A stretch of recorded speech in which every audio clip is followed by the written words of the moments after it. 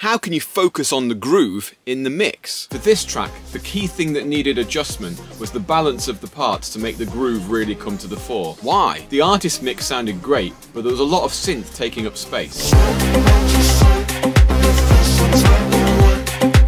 How? To focus on the groove, you need to establish what is creating the groove. In this case, it was drums, bass and vocal.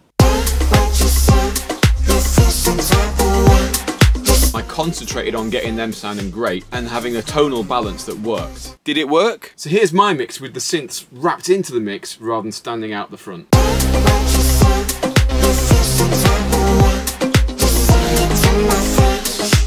The artist asked for more synth in the first revision, and then on hearing that, realised that actually it did detract from the core. So getting the groove to be at the focus means finding out what's creating the groove and then slotting the rest around it rather than having everything up front.